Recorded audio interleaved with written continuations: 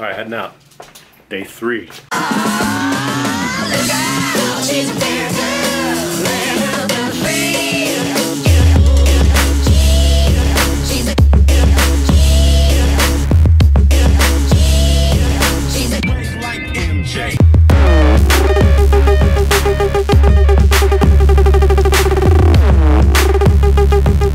Going on day three of the daily video blog.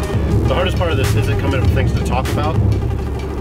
It's pointing a camera at yourself in front of other people and talking to the camera. Um, makes you really self-conscious. It's especially tough because I'm the kind of person that if I'm gonna make a phone call, I'm gonna go where I know someone can't hear me.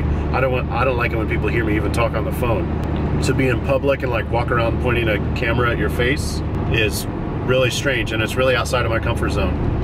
But I think it's a good stretch to just not caring about what people think.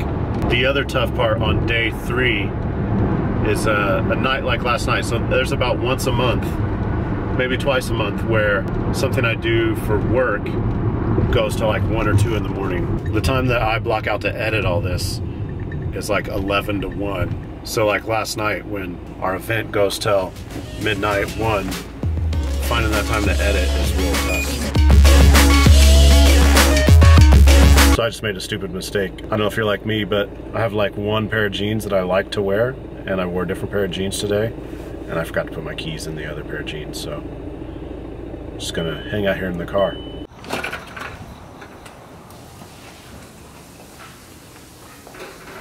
It was a pretty uneventful day at the office. On my way home now, we have a PTO picnic. I've never been to a PTO picnic before. So this is a first. I'm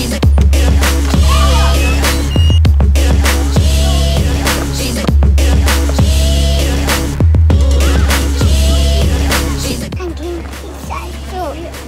pizza. Shirt. Okay, it's gonna be a night shirt for you. What do you think of that? Pizza shirt? Aw. You want to put it on? All All right, that's the bubble bus. They're waiting in anticipation. I don't know what's going to happen. It's going to have bubbles, lots of bubbles. They're going to make bubbles.